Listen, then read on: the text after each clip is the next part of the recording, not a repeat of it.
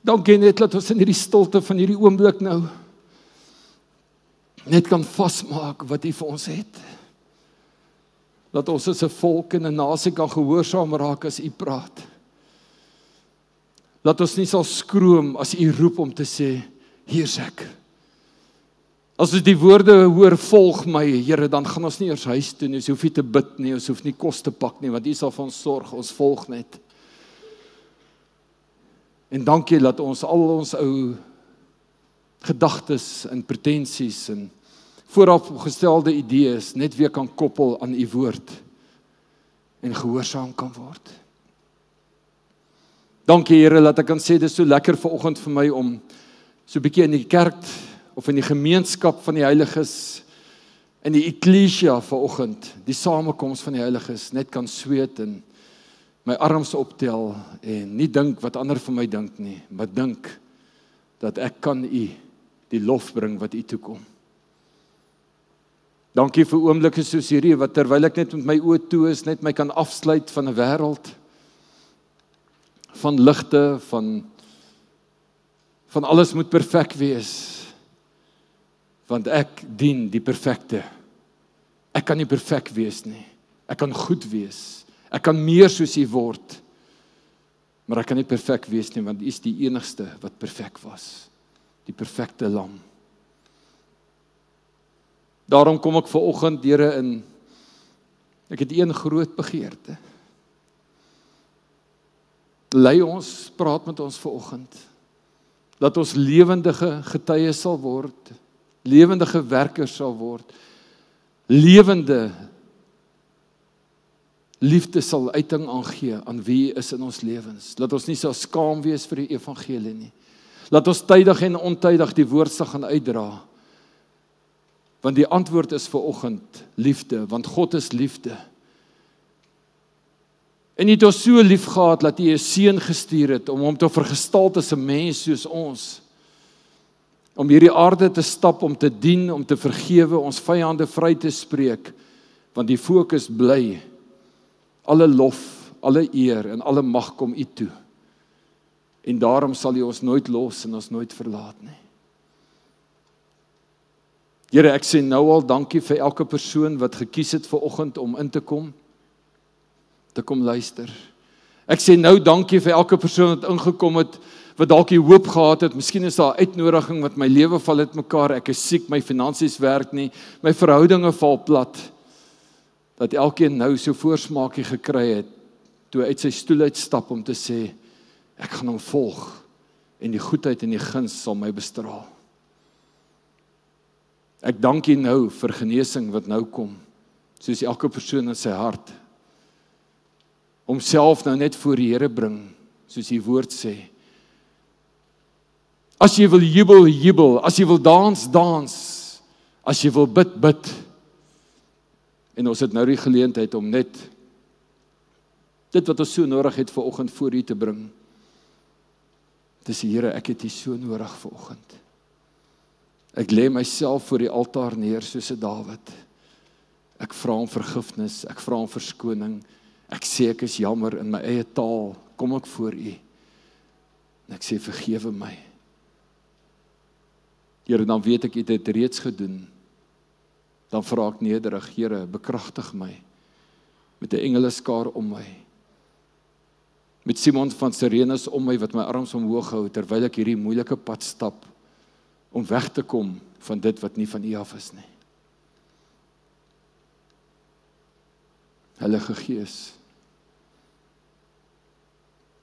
Bedien ons net nou op hierdie oomblik. Want ons besef ver oggend toe hoe lofwaardig U is om lof en prys en eer aan U te bring sodat U glorie oor ons kan kom. 'n Glorie wat ons nie kan namaak nie. 'n Glorie wat ons nie kan fabriseer nie. Maar wat ons wel kan ontvang. 'n Kabot wat vir my 'n genadegawe word om my gawes los te maak.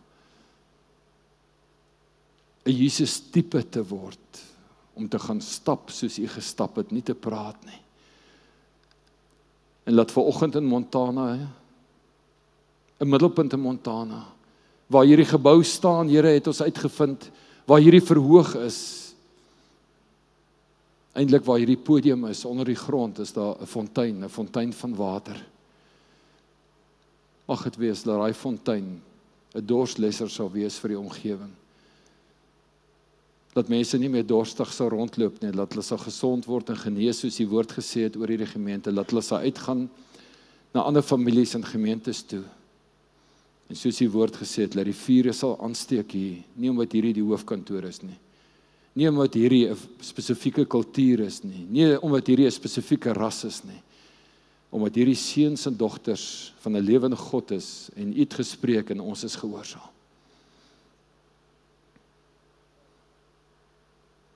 Dankie vir die wysheid van die grysheid wat U vir ons gegee het hier seuns en dogters wat op 'n late ouderdom hier sit en dit nog kan ervaar wat jy besig is om te doen. Om in die wysheid van hulle lewe nog wyser te word en dit in die kinders wat agterbly te kan los, maar ook te kan jubel en te kan juig om te sê Here, in U teenwoordigheid hou ons nooit opgroei nie, want ons word meer soos U. Dankie dat ons ver oggend op 'n plek kan kom en hierdie behoefte kan aanspreek, Here, en waar ek en Marlene as in bloot net herders is. Dis U die eienaar van hierdie plaas. Ons is bloot net die herders hier wat na die skape moet omsien. En dankie dat ek en sy ver oggend in nederigheid kan kom en sê Here bekragtig ons dat nie een sal verlore gaan nie. Want dis u natuur. Hou ons sterk. Want die woord was, moenie ophou om goed te doen nie, want op die regte tyd sal jy maai wat jy gesaai het as jy net nie opgee nie. Doen dan aan almal goed. Maar veral aan die huisgenote van die geloof. Here, U het gekom vir alle volke, alle tale, alle nasies. U het gekom vir elke voorstad, elke stad, elke dorp in hierdie land. Maar U het 'n woord gespreek dat hier sal iets begin. En ons vat dit ver oggend. En ons vra Heilige Gees lei ons, leer ons om in 'n volheid te staan soos nog nooit tevore nie. En dit alleen kan ons bid in die mooiste, in die wonderlikste, in die sagste, in die soetste, maar ook die magtigste naam wat ooit op aarde genoem is, die naam van Jesus Christus. En ons almal sê: Amen. Ek wil terwyl ons op hierdie oomblik is vir u vra dat ons ook die Here sal eer ver oggend met ons offergawes en ons tiendes en net soos u wil. As jy voel jy wil 'n tiende in 'n koevertjie sit, jy voel dis hoe jy dit doen, moenie laat iemand vir jou sê dis verkeerd nie. Daar is 'n kluisie daar buite as jy dit in 'n sakkie wil gooi, jy kan dit daar aangegooi. As jy dit wil doen elektronies, 'n aftrekorder Iemand het maar ons toe gekom en gesê ons leef in 'n tegnologiese tydperk wat ek nie gewoond is nie want ek gee baie keer my foon vir my kind om te sê help my. Gesê kan julle nie SnapScan of Zapper of daai goeters kry nie. Toe sê ek ons sal gaan kyk. Sê want dit is baie makliker. Ons hoef nie met kontant rond te loop nie. Ek vat my foon en ek wys net na 'n plakkertjie toe met 'n kode op en ons sal kyk daarna. Wat maak dit saak hoe ons gee? Die woord sê gee. So soos jy nou regmaak weet ek dis so wonderlik om in 'n gemeente te kan wees wat ons nie hoef steentjies te verkoop of sitplekke te verkoop of die aandag na my toe te trek nie, maar waar ons dit wat in ons hande het, wat ons in ons harte het, wat ons gee sien as saad, want as saad uitgaan, kan dit multipliseer. Kan dit vermenigvuldig. Want net God kan vermenigvuldig, ek en jy kan nie. As jy geld gee en jy is bedroef daaroor, dan beloof ek vir jou gaan dit minder word. Kan nie meer word nie. Maar as jy saad gee, kan dit vermenigvuldig tot eer en lieflikheid van ons Here Jesus Christus om sy koninkryk uit te brei, maar ook vir jou daar waar jy in nood is. Vader, dankie dat elkeen vanoggend sal gee, soos dit soos dit in sy hart voorkom, nie uit droefheid of uit dwangheid nie, maar om die evangelie te bou. Ons dink vanoggend aan elke persoon wat hier sit wat ook swaar kry, Here, en ek vra Heilige Gees, Dankie dat jy oor elkeen van ons nou kom vir oggend om te gee soos u sou gegee het onvoorwaardelik. Nie vra te vra nie, maar laat ons ook die vrug daarvan sal sien soos u woord sê.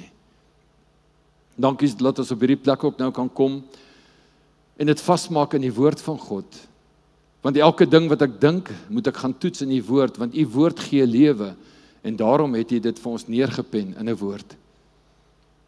Ek bid dit in Jesus naam en ons almal sê amen. Ek wil voor die diakens opneem. Kom ons kry net daai skrifgedeelte op. Hier sê Hebreërs 7 vers 8. En hier neem wel sterflike mense tiendes. Ons is sterflik. Neem tiendes, maar daar een van wie getuig word dat hy lewe. As daar net een is wat kan getuig dat hy sal lewe in sy sterflikheid omdat hy gegee het sodat ander mense ook lewe kan ontvang vir die ewigheid, dan het jy die regte ding gedoen. Amen. Die jakens kan vir ons opneem asseblief. Ek moet vir sê dis nogal na vir my nie na so baie jare soos ander leraars in die bediening nie. As ek dink aan Neville as Neville vanoggend hier moes gestaan het en na 30 jaar voltyds in bediening, my skoonpa na 47 jaar, ek dink voltyds in die bediening, hoe sou hy gevoel het as Here dit doen vanoggend? Want dit gooi jou hele ou ritme de mekaar van dit wat jy aan gewoond is, daai muscle memory. Ou doen mos hulle sê muscle memory as jy gaan oefen. My omgewing gestremdheid sê vir my as ek oefen dan word hierdie spier groot want hy memory, hy onthou dit, dis hoekom hy groot word. Nou hou ek nie van hom nie, dan sê ek vir hom in Jesus naam, dankie, gaan nou weg. Ek hou nie van jou nie. Dan kom die memory maar weer, jy moet hom wegwerk, jy moet hom weg oefen. Nou vanoggend is so oomblik vir my. Uh vergewe my as dit de mekaar hier lyk en as jy dalk 'n DVD of 'n video koop en, en die podium en alles lyk de mekaar en jy sulke los papiertjies, dis wat ver oggend in my kantoor gebeur het toe die Here begin praat. Ek gaan tog maar net om my bietjie kalmer te kry sal ek uh sal ek oorskakel en die jou een of twee skyfies wat ek gemaak het maar opsit. Ek weet nie of hulle gaan werk nie, maar Ekskuus, ek is totaal uit my diepte uit. Want dit wat ek ervaar het net, soek ek meer van. En ek weet die woord kan dit net so bedien. God se woord kan dit net so vir ons gee. Ek dink sommer nou daaraan dat uh, is die internet aan agter, daar sê is ons oor. Dat ons het begin met 'n term wat vir baie van ons baie vreemd was. Een of twee van u het my ge-WhatsApp en gebel en net gesê ek het dit gemis. Wat beteken Shekinah glory? Toe sê ek daarom moet jy die DVD kry want daar's nog ander wat dit gemis het. As jy klaar geluister het, stuur jy dit aan. Pay it forward.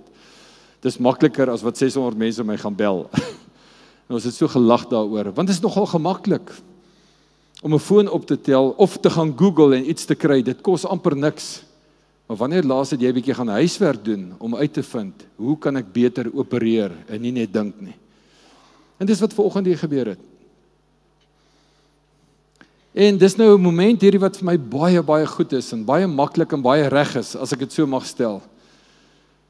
En want daar het iets in my gebeur en ek hoop dat iets in een persoon anders ook gebeur want die woord sê if one comes to repentance the angels rejoice. Nou ek het al gaan kyk na daai woord repentance.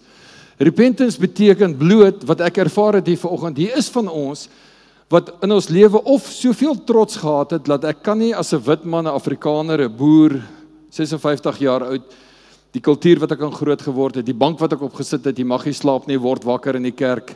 Ek kom uit daai milieu uit en jy sit stil en jy gaan in jou binnekamer en jy sluit jou deur en jy gaan op jou knie en dis hoe jy bid en al hierdie goeters is nie reg of verkeerd nie. Maar dit het 'n binding veroorsaak soos 'n kasteel oor jou lewe. Daai rotsvesting by wie jy gaan skuil, het vir jou rotsvesting so geword dat jy die hele tyd in die kasteel sit en jy weet niks wat buite aangaan nie. Want dit is vir jou veilig om daar te sit, maar jy verander nie. En ons gaan daarna kyk. Want terwyl ek in die kantoor sit, sê ek, Here, maar hier moet 'n binding wees op ons land.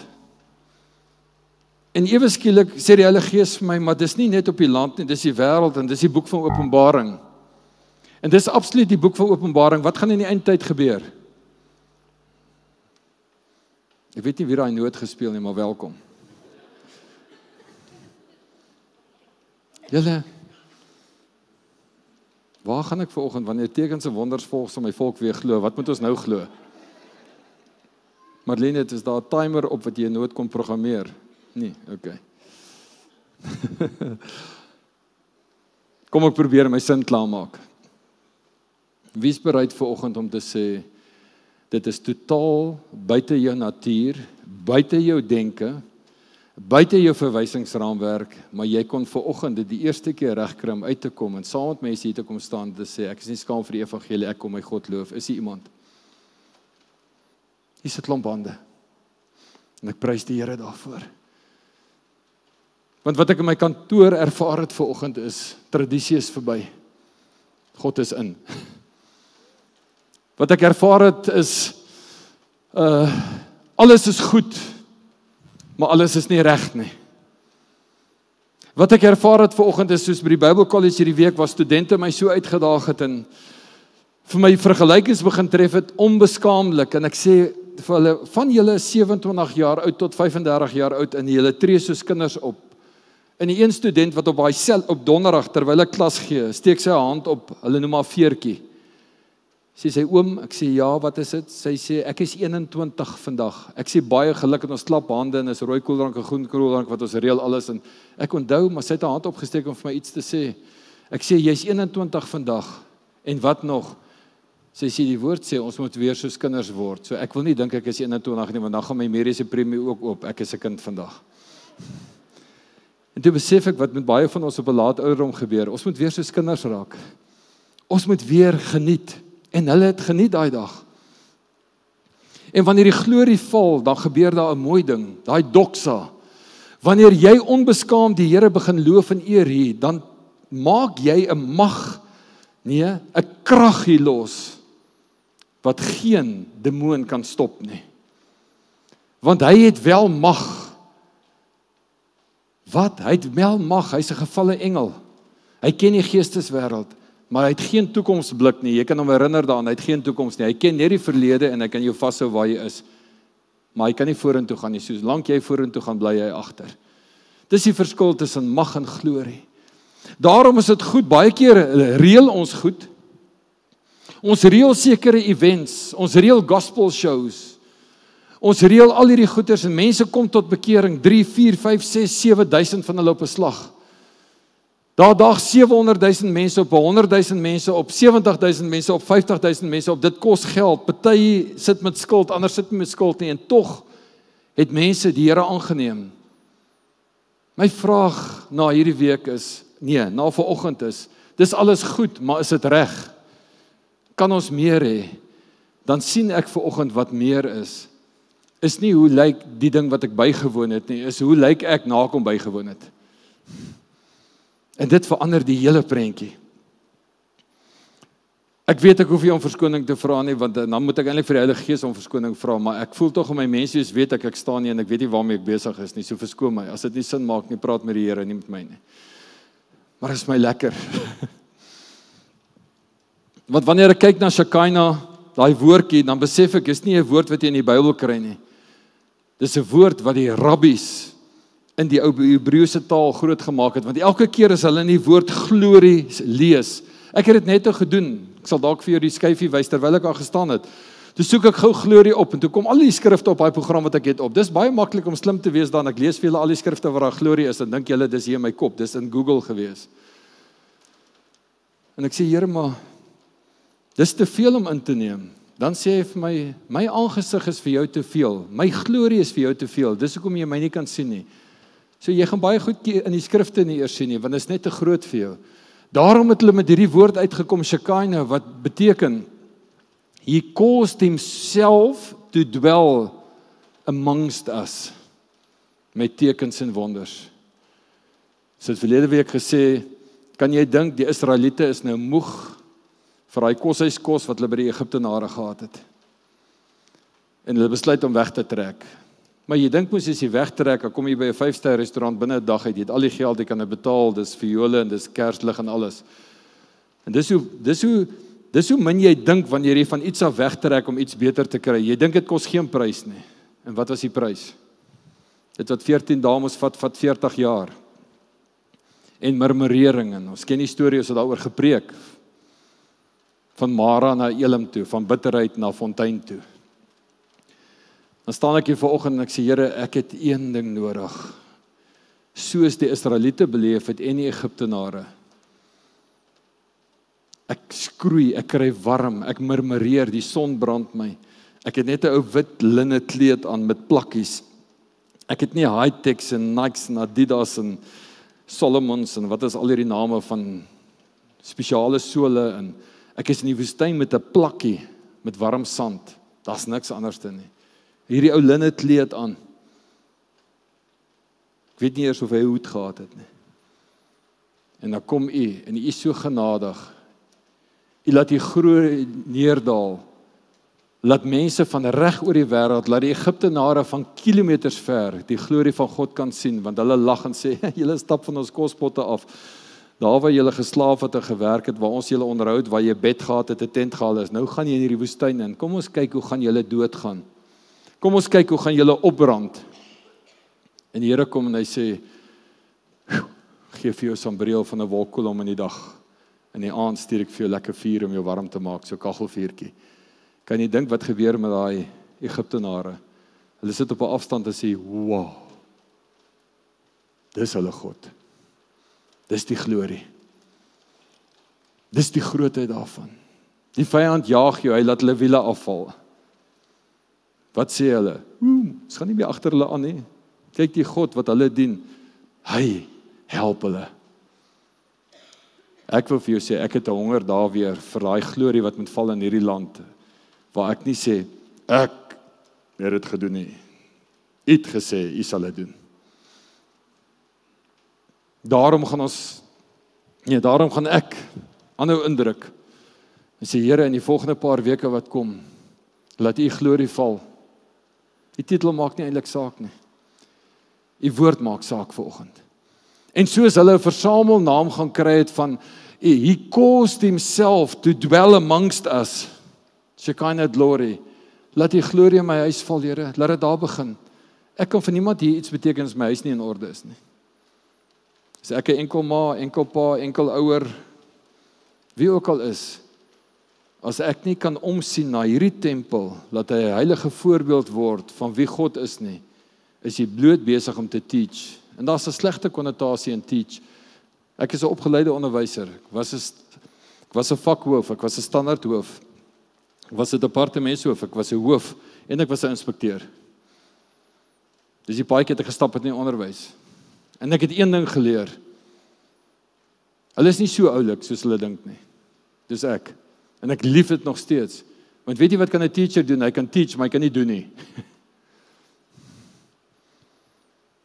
Here, ek wanneer ek nou 'n onderwyser, 'n leermeester, 'n leraar, 'n gawe het van U, wil ek nie net praat daaroor, ek wil nie net teach nie, ek wil hom kan stap, want dan breek die goed oop. En as ons so aangaan met hierdie, dan sit vir my dan sit vir my so wonderlik om ver oggend vir jou te sê wat ons begin het met Psalm 3 vers 3. My glorie kabot, God se glorie doxa.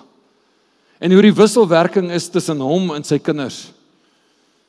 Ons het al die term gehoor en dis so 'n ou stukkie leerskool vir oggend wat ons in beweging moet sit. Wanneer ek praat van Jesus Christus, dan verwys dit van die seun terug na die God wat hom so liefgehad het dat hy gesê het ek sal jou gee om te gaan sterf vir ander mense. Dis Jesus na Christus toe. Maar wanneer ons praat van Christus Jesus, dan is dit die glorie wat afval in sy seun om vir hom te sê jy sal beter en groter wonderwerke doen soos jy stap. Dis die projeksie na my en jou toe. Daai glorie het jy en jy, jy moet dit ontvang. Maar dit wat jy ontvang het, gaan oor in 'n gawe en as jy jou gawe nie tentoonstel nie, dan is jy besig om te praat. En dan gaan nie die riem om jou op eh, oopbreek nie. Daar's baie voorbeelde wat my opkom nou terwyl ek praat en dit is eintlik so prakties, so kinderlik, so naïef amper. Jy hoef nie geskool te word nie. Jy hoef nie 7 jaar of 4 jaar of 5 jaar te studeer daarvoor. Jy hoef eintlik nie eers die papier te hou nie. Dis die natuurlike. Jou DNA wat van God af kom, daai daai vingerafdruk wat ons nie van mekaar af is nie, wat ons slegs in mekaar is in hom. Verder lyk ons anders toe. As jy die oggend opstaan, dan weet jy inherent jou liggaam waarsku jou, daar's iets siek of seer of stikkend of moeg. Jy weet sommer party van die goed is ernstiger as ander goed. Wat jy gelees het of aan blootgestel is of wat in jou familie was, maak nie saak nie. Jy weet want jou DNA is so gemaak. Liggaam sielkunde, emosies, hartsverlange, dis die wese van die siel en gees. Dit wat die Heilige Gees my mee impakteer in wysheid. weet jy jy's siek. As jy nie dokter toe gaan nie, weet jy jy kan sterf of geïmmobiliseer word of jou werk verloor of wat ook al, maar jy kies nog steeds om te sit. Dan gaan jy buite hierdie glorie wat jou moet bedien want jy as jy dit nie in deur te worship en te vra en te sê Here, hier's ek maak my gesond nie, dan gaan jy doodgaan want jy's buite die beginsel van die woord. Jy's buite dit wat hy vir jou gegee het. So dan moet 'n aksie wees wanneer jy goed begin vra. Jy kan nie die genade aansien vandag en te sê Here, dankie, eenmal gered, altyd gered. Omdat ek jou nou aangeneem het, gaan ek hemel toe. Dan moet jy vanaand doodgaan en huis toe gaan want dat jy geen funksie op aarde meer nie en jy sal in hemelse plekke uitkom. En dis waar ons die genade verkeerd verstaan want wanneer die genade oor jou geval het, dan het jy 'n brief gekry om te sê jy's goed genoeg bevind jou DNA's reg, jou ouers het jou reg opgemaak, ons het jou getoets, jy's nou reg. Oor 4 jaar gaan jy hemel toe of Olimpiese spele toe. Daai brief beteken niks wanneer jy dit vir iemand gewys het. As ek na Dani toe gaan en sê Dani, kykie. Kyk hoe mooi het God my gemaak. Hy het my die talent gegee soos my my aardse vader. My pappa was 'n springbok. Ek is nou net gekies om ook 'n springbok te wees. Ek sal my klere oor 4 jaar aantrek. Ek gaan aanmeld daar. Ek weet nie eers of ek die tweede ronde gaan haal nie. Ek weet nie eers in watter vlak ek in die hemel gaan wees nie. Ek weet nie of ek die semifinaal by die Olimpiese spele gaan haal nie. Ek het die brief en jy begin afsjou met die brief. As jy hom klaar gewys het vir iemand, daai oomblik wat jy hom opvou in die koevertjie sit en trots voel daaroor, dan verval daai brief se datum. Want nou moet jy begin oefen. Nou moet jy begin sweet, nou moet jy begin geld bydra, nou moet jy in die oggend opstaan en nou moet jy alles oorkom om eintlik aan te meld vir dit waarvoor jy 'n brief gekry het. En dis die konsep van die natuurlike vergelyk met die geestelike. Jy ontvang niks deur niks te doen nie, want so lief het God die wêreld gehad dat hy sy seun vir 'n purpose gestuur het, vir 'n doel gestuur het. En terwyl ek daar sit, toe sê ek, Here, ek moet weer vasmaak in die boek van genesing, Genesis, Genesis, wie's ek? Hoekom het U my gemaak? U het my gemaak vir U glorie om te sê U het iets moois gemaak en gesê dis dit gaan nie so mooi bly as ek nie iemand maak om daaroor te gaan heers en te kyk daarna nie. Toe maak jy my. Toe kom jy agter so wonderlik in u karakter. U kan nie slegte goed maak nie. Laat daai man wat jy gemaak het gaan alleen wees. Hy gaan dit nie kan maak nie. Hy kan nie hare vleg nie.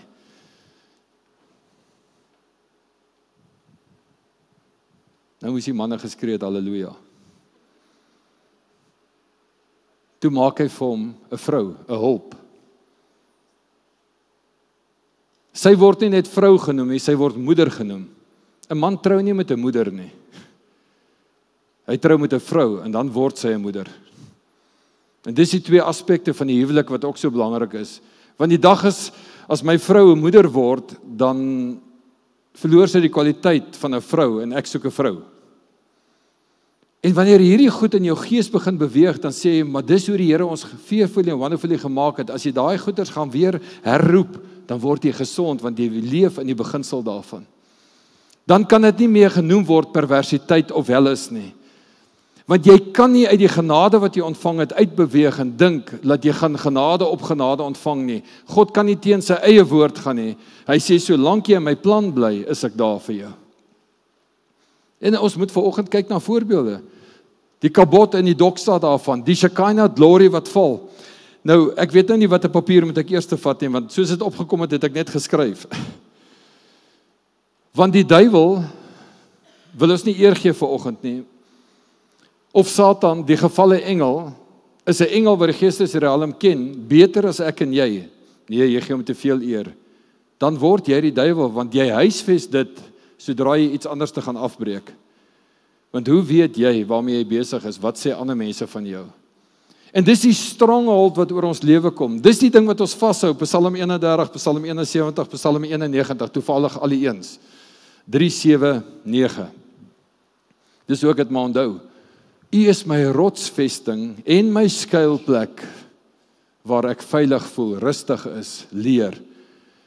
Maar dis soos 'n seilbootjie wat jy gemaak is vir. Presies dieselfde konteks as jy die volgende verse gaan lees. Solank jy in die hawe bly en jy's gemaak om te kan seil, as jy die hawe muur verlaat en jy gaan seil bietjie rond en as dit die wind as dit erg raak, gaan jy terug hawe toe, dan word jy 'n rekreasie voertuig. Vaartuig. Jy het geen destinasie nie. Sodra jy kies om na 'n destinasie toe te gaan, moet jy uit die hawe uit gaan. En as jy daar ver is en dan kom 'n storm op, moet jy nou kies. Ek gaan weer terug na my ou weë toe. Of ek het 'n woord van God, ek gaan na 'n nuwe destinasie toe. En dis waar jy moet vertrou. Ek sê jy nooit los jy nooit verlaat nie. Hierdie is nie vertroue, hierdie is bloot rotsvesting en jy gaan op dieselfde plek bly. En hoeveel van ons hak daar vas? Die woord sê daar waar jy op jou laagste is, daar in jou hawetjie, sal ek jou vat na jou hoogste. Jou hoogste is nie weer die hawe of wie jou naam is of wat jy was nie. Hy sê jou vat na 'n destinasie waar jy nog nooit was nie. Dis vreemd, dis uitdagend, maar is so groot dat jy sal dit nie verstaan nie. Watter een kies jy? En in daai wysheid en daai goed wat ontwikkel ver oggend en wat in, in 'n paar minute in my kantoor gebeur het, sê ek, maar dan moet ek begin erkenning gee aan hoe God dit beskik het in Genesis toe hy gemaak het.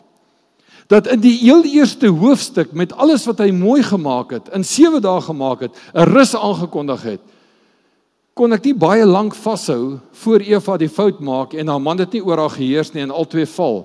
En daarom is dit vandag so dat die man sal met in die in die sweet van sy aangesig sal hy sy loon verdien want hy het nie gaan heers oor sy vrou toe die Satan na getempt het nie.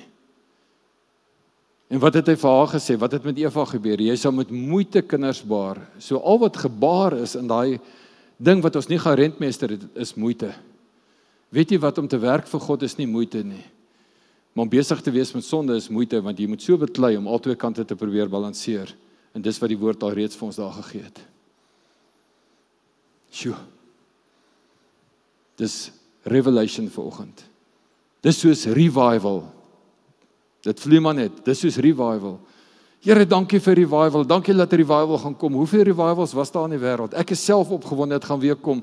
Want as ons almal vandag hier in 'n hoepeltjie gestaan het en en ons skree 1 2 3 revival en ons gee een tree vorentoe, dan's daar revival en dan het ons vorentoe gegaan. Ons het vanoggend 'n klomp stappies gevat. Hierdie was die vorm van revival. Wat nou? Ons het twee sondae terug as ek reg is. Ja, presies twee sondae terug was dit. Reformatie Sondag. Martin Luther het nie opgestaan en ewe skielik gaan hy in sy denke slim kind gaan sit hy daar en hy skryf 95 leerstellings op wat vir 500 jaar die wêreld verander nie. Dis die Heilige Gees wat hom gaan impakteer toe gaan skryf het neer te begin het leef en die hele riem in die gees verander. Ons het 'n reformatie nodig, nie net 'n revival. Hierdie was 'n revival vanoggend. Nou moet daai reformatie wysheid kom. Nou moet ons hierdie ding vorentoe vat. En die opgewondenheid daarvan sê vir my die duiwel is 'n is 'n inferieur mag. Wat beteken dit? Ek het dit ergens geskryf. Hy het geen autoriteit nie, hy het wel mag. Hy's 'n gevalle engel. En omdat hy omdat hy soos dis nou versigtig wat ek sê want baie van ons werk daarin, dis ons inkomste. Dit is oukei. Okay. Ek verduidelik net vir jou hoe daai mag werk. Nie die krag van autoriteit nie, die mag Ek het dit al hoeveel keer vertel. Dis vir my 'n maklike voorbeeld. My skoolma sê vir my, "Sal jy vir my my etkers rekeningkie gaan betaal?" Jare terug. Ek sê, "Is reg, maar kom maar aan. Ek dink jy's hier's nou 'n geleentheid. Miskien moet ek ook sommer een oopmaak as ek dalk nodig het om vir Marlene ietsie te koop." Daar staan 'n groot plakkaat. As ons nie binne 10 minute vir jou hierdie rekening oopmaak nie, kry jy R500 op ons. Toe dog ek, moet ek nou die lyn tekties begin en hulle sorg dat hulle dan het ek mos vir R500. Dis hoe ons dink. Ek het dit probeer. Nou mag ek mos nie meer hier staan nie. Dis in my BC jare julle. Before Christ. En ek het daar gestaan en hulle het alles ingevul, hulle deurgestuur ook kantoor toe en toe dog ek ek gaan nou my R500 kollek toe sê hulle vir my sorry, jy's afgekeur. Ons kan nie vir jou 'n rekening oopmaak nie. Toe sê ek hoekom nie? Toe sê hulle want jy het nie skuld nie, jy is skuldvry. Dis hoe die duiwel werk. Hy wil sien dat jy jou kan vasvang en dat jy na die riem gaan bly en dat jy maar maandeliks die prys sal betaal en soeg in die sweet van jou aangesig en alles. Dan sal hy vir jou rekening oopmaak. Anderste gaan hy nie want hy weet jy gaan nie kan betaal nie. Goeie sales tegniek. Dis die riem wat ons in beweeg, maar ons praat nie genoeg met mekaar nie want die gedagte weet ek wat by jou opkom nou en dis nie 'n voorbereiding hierdie is, maar dan gaan geen ou huis kan besoek in 'n kar en 'n en 'n telefoon en dit dis nie waarna ek verwys het nie. Dis maar bloot jou denke wat jou in vrees uit terughou, dan kan ek nie leef nie. Daar is 'n beginsel in die woord van om 7 jaar af te betaal. Daar is 'n beginsel in die woord van erf. Daar is 'n beginsel in die woord van jy's nie meer weeskind nie. Daar is 'n beginsel in die woord wat die Here jou wil seën. Jy al daaraan gedink. Daarom is dit so belangrik ons finansiële kursus wat 3 maande aande is as ons hom adverteer, dan kom jy elkeen van hulle. Want daar's 2417 verse oor finansies, 600 oor geloof en 400 oor die liefde. Ek dink die Here het Mammon regtig groot geag om jou te leer hoe om hom te wen. Vra vir die studente, vir die van julle wat nie verlede week hier was nie. Jy het een vraag aan my klas om jou jaar deur te kom terwyl ons daar by die Bible College is. Net een. Jy kan kies een vraag. As jy hom reg het, wanneer laas het jy 100% gehad in 'n eksamen? As jy hom verkeerd het, het jy 0. Nou sien ek hulle so ongemaklik. Ek sê maar ek kan dit makliker maak soos die wêreld. Want as daar geen prys om te betaal nie, dan is dit tata ma chance. Ek kan vir julle drie vrae gee. Jy gaan dieselfde uitkoms hê. Jou persentasie gaan net verskil. Of jy gaan sleg doen of jy gaan goed doen. Wat een kies julle? Wat dink julle het hulle gekies? Ek gaan nie vra jy moet dit nou ophou met 'n bordjie. Die studente is dalk anders as jy. Almal het gekies die een vraag, tata ma chance. Want dit is of alles of niks.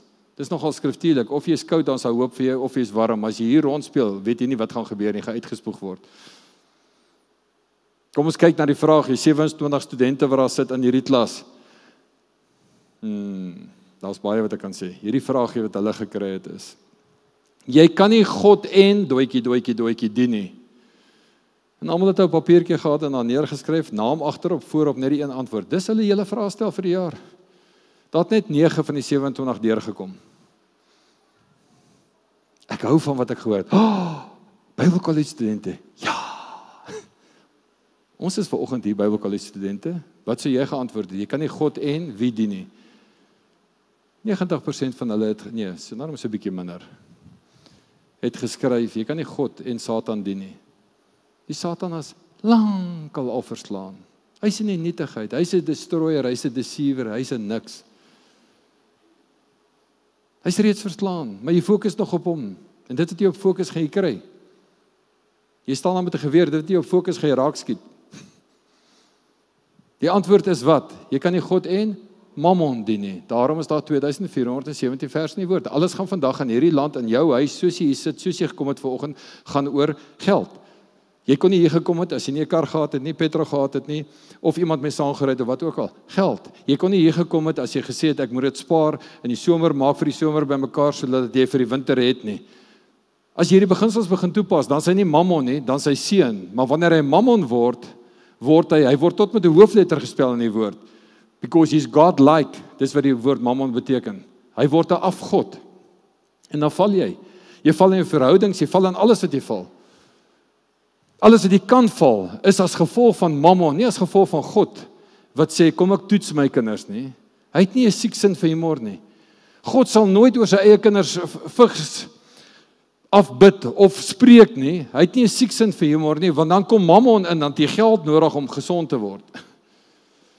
Daarom praat hulle van baie siektes van 'n curse want die omgewing wat jy in beweeg, het sy bewustelik of onbewustelik kan jou siek maak en Mammon regeer daai omgewing. Daarom het jy sy beskutting en sy plan die hele tyd in jou lewe nodig. So van baie jare se wysheid wat ek gedink het ek het, kom ek agter ek het niks ver oggend in my kantoor nie. Ek kan bloot wat ek in my het nou met julle meedeel. As die Heilige Gees my nie help nie, gaan dit nie meer word nie en dit gaan my vashou want dis die rotsvesting, dis die plek waar ek vashak. So waarmee gaan ons met hierdie? Dis 'n mooi ou sê dingetjie want ek het ver oggend weer geluister na 'n ding wat ek opgeneem het. Dis nou 3 uur vanoggend en dit kom toe op my op in my kantoor. En ek gaan dit lees net soos dit daar gesê is. Hoor gou hier. The devil is an inferior power to be like a believer, but the impulsion of this verse uh, is the following is that this inferior power can have influence over the superior power. En ek dink so, nou pos ek die boodskap. Nou sê ek maar, hoe kan die duiwelse krag mag hê om te heers oor die superiore krag van God? Dit klink nie vir my reg nie. Nou skryf ek. Nou gaan my nota verder. The inferior power can have influence over the superior power if the superior is ignorant. Ek is die superior power. Ek het Jesus Christus in my. Ek het hom aangeneem. Ek het al sy mag, al sy krag ontvang in 'n anointing fase om te sê ek sal groter wonderwerke doen as die duiwel. Hoe kan die duiwel dan oor jou heers? Hoe het die mag die inferior mag mag oor die superior mag? Is wanneer die superior mag ignorant is en nie doen wat God sê nie. As jy ongehoorsaam is, het jy geen mag nie, dan jy boot 'n demoniese mag. En toe begin dit. Nou begin dit skud binne my. En daarom lyk skud nogal so. Dit lyk soos notas wat ek gemaak het in die jare wat ek nog probeer studeer het. Want julle is mos almal daar as jy hoor van studeer, dan gaan ons nou almal 'n week afvat by die werk en dag en nag leer. Ek praat nie van u nie, ek praat vir myself. Elke keer as ek gedink het aan leer, gelê ek op die bed tot die gevoel verbygaan. Maar as iemand vir my gesê het gaan oefen, dan ek gaan oefen. Ons het maar verskillende ou gawetjies. Party kan leer, ander kan hardloop. Maar in dit moet ons alles in die woord toets, soos die tyd ons toelaat vanoggend. En dan gaan my haas. 2 Korintiërs 10 vers 3. Want hoewel ons in die vlees wandel, soos vanoggend, voer ons nie die stryd volgens die vlees nie. En ons is besig om die stryd in die vlees te voer. En dis waar hierdie twee magte te mekaar afspeel. Want daar is geen ander ding wat ek ver oggend vir julle kan sê nie is ons is besig met decepsie. Hoekom oorwin ons dan nie? Nie net in hierdie land nie. In die boek van Openbaring oor die hele wêreld.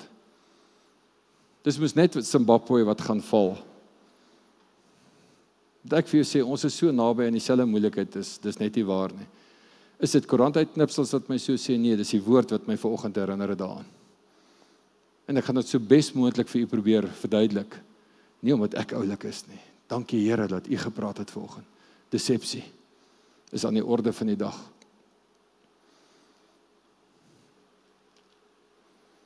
Die Here het vir ons gesê as ons 'n kingdom invasion nou volgende jaar, hy klaar die naam gedeponteer, nou is daar geesgeveg.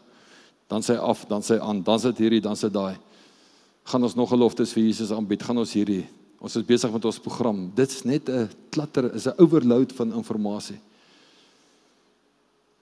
Maar as jy so stil raak, sê Here, wat wil U hê? Ons het dit vanoggend gesing, wait on the Lord. Wait on the Lord.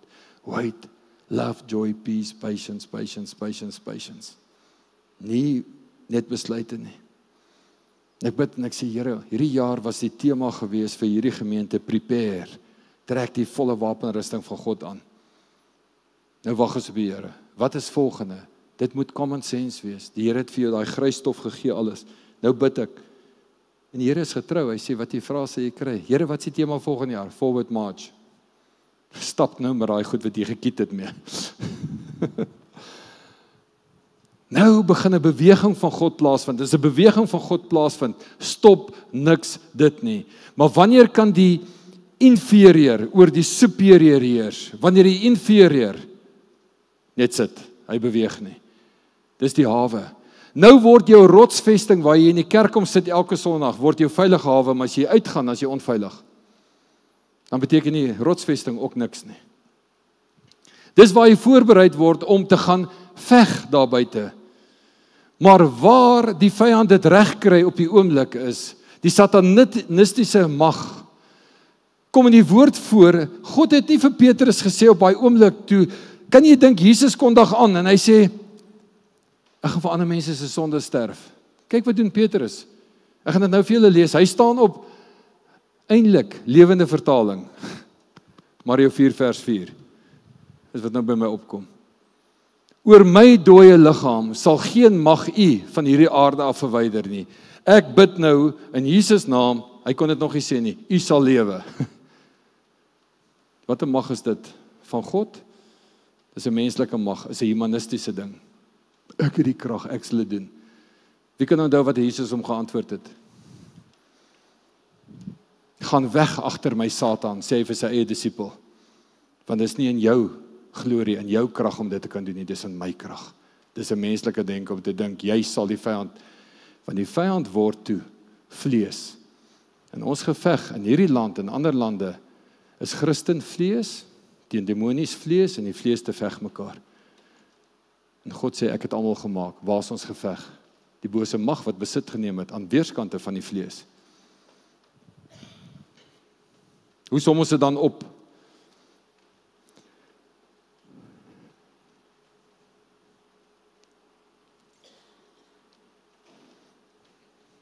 Volgende keer kan ons aangaan.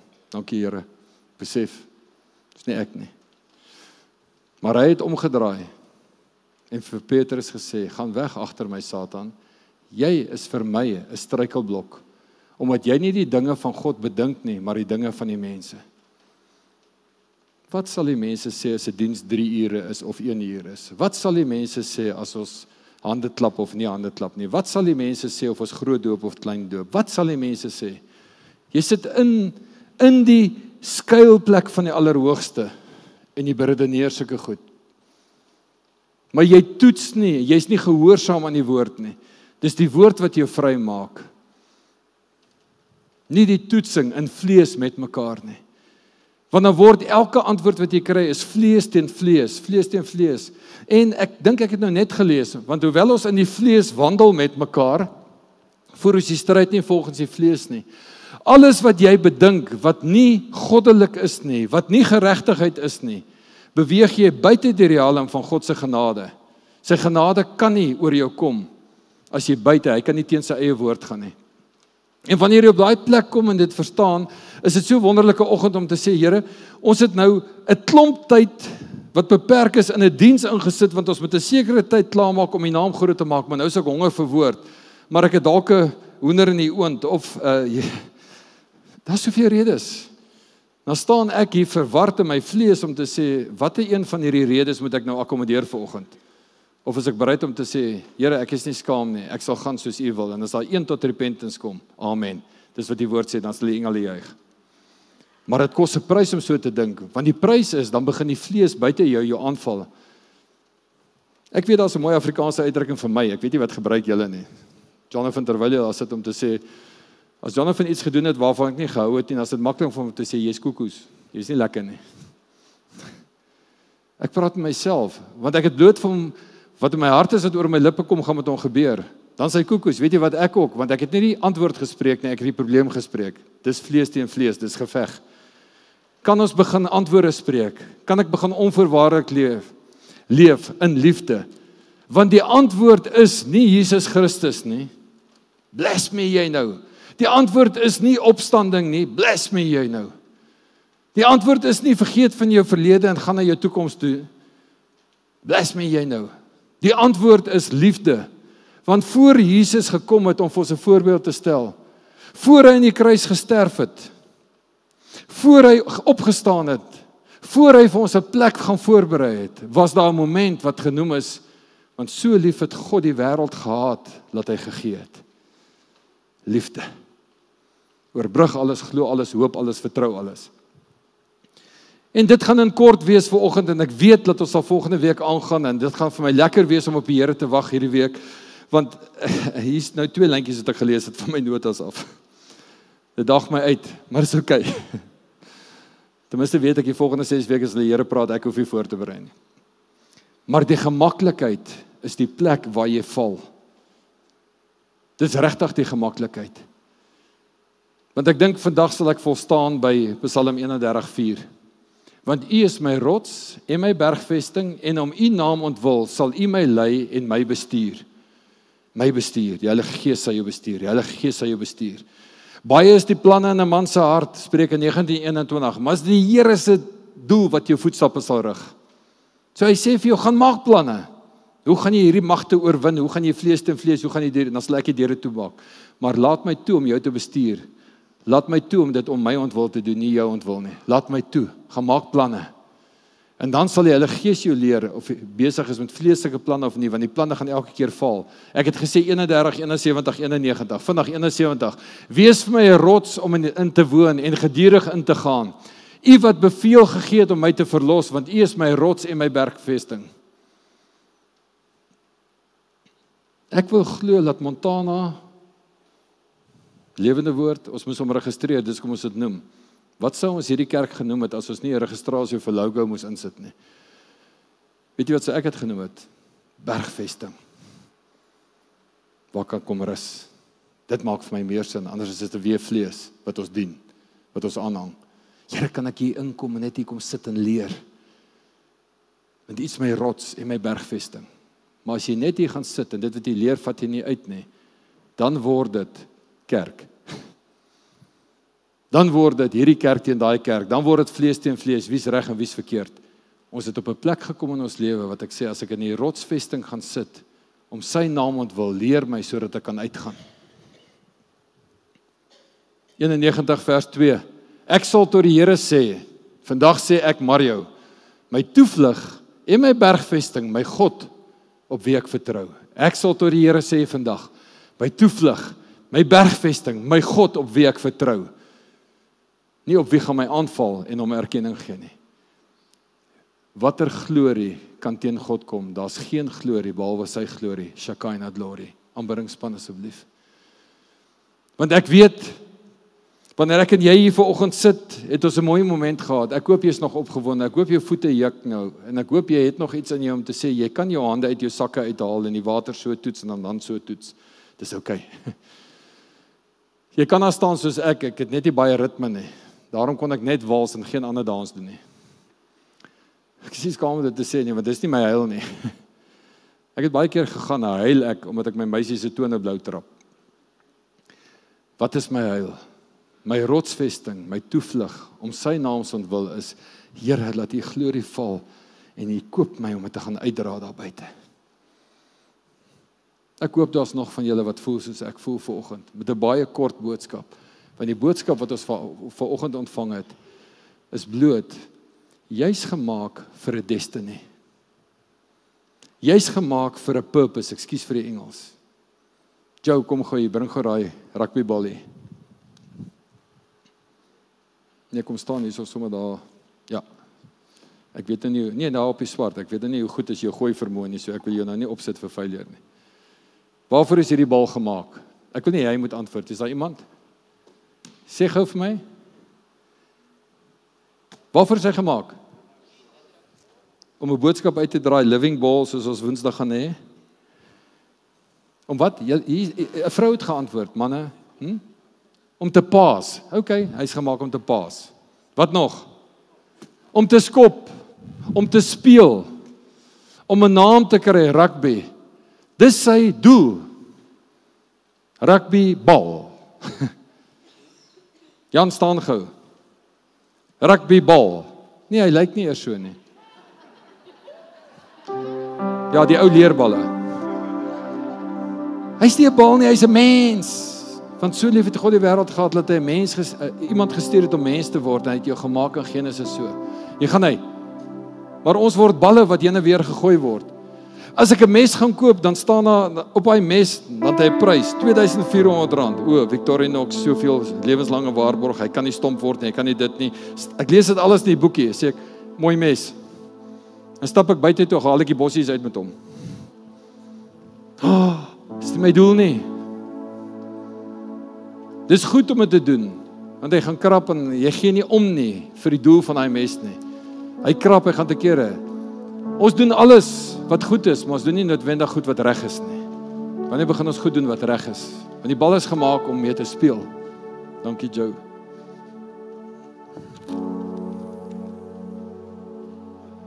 Die bal is gemaak Joe om mee te speel, nie om op te sit nie. Daar's 'n stoel. Het jy gehoor hoe klink dit nou toe op daai bal gaan sit?